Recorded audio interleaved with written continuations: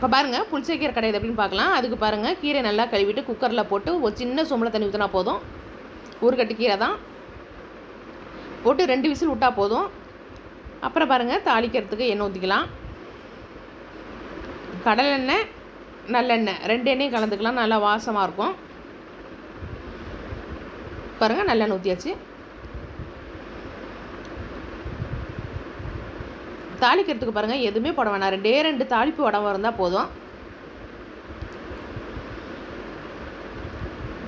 வடம் பொரியட்டும். அடுத்து பாருங்கள் சின்ன வெங்காயம் நல்லா ஒரு மூணு பிடிச்ச வெங்காயம் இருக்கும். அது வெங்காயம் நிறையா போட்டால் நல்லா டேஸ்ட்டாக இருக்கும். ப- அதை நல்லா வெங்காயத்தை போட்டு வதக்கிடுவோம். அப்புறம் பாருங்கள் பச்சை மிளகா ஒரு நாலு பச்சை மிளகா வரமிளகா பாருங்கள் ஒரு நாலு வரமிளகா காரம் கம்மியாக வேணால் ஒன்று ரெண்டு குறைச்சிக்கலாம் நம்ம. ரெண்டு மிளகாயும் போட்டால் நல்லா வாசமாக இருக்கும். போட்டு நல்லா வதக்கிடலாம். அடுத்து பாருங்கள் தக்காளி பழம். ரெண்டே ரெண்டு தக்காளி தான். அரிஞ்சு வச்சுருக்கிறேன் அதையும் சேர்த்துடலாம். இப்போ தக்காளியை நல்லா வதக்கிடணும். அடுத்து உப்பு போட்டுக்கலாம். பாருங்கள் நல்லா வதக்கிடுவோம்.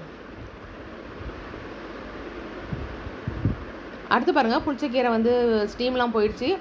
விசில் வந்து இப்போ நம்ம வந்து நிறைய தண்ணி இருந்தால் கொஞ்சம் குறைச்சிடலாம்.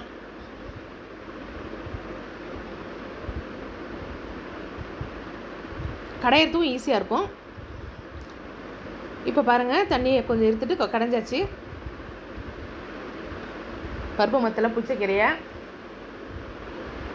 மிக்சியில் அரைக்கிறதோட இந்த மாதிரி கடைஞ்சி போட்டால் டேஸ்ட்டாக இருக்கும். இப்போ பாருங்கள் நம்ம வதக்கி வச்ச வெங்காயம் தக்காளி எல்லாம் சேர்த்து அதையும் நம்ம கடைஞ்சிடலாம். இந்த மாதிரி செய்யும்போது தான் நல்லா டேஸ்ட்டாக இருக்கும். ரொம்ப ஈஸியாகவும் செஞ்சிடலாம். ஒரு பக்கம் கீரை வேக போட்டுட்டு ஒரு பக்கம் தாளிச்சோம்னா முடிஞ்சிச்சு கீரை வேலை.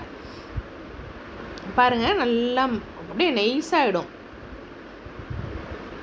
மிக்சிலலாம் போட தேவையில்லை. பாருங்கள் நல்ல டேஸ்டான புளிச்சக்கீரை. ஆனால் எண்ணெய் கொஞ்சம் நிரப்பமாக ஊற்றணும் புளிப்பு உப்பு காரம் எல்லாம் இருந்தால் அந்த கீரை நல்லா டேஸ்ட்டாக இருக்கும்.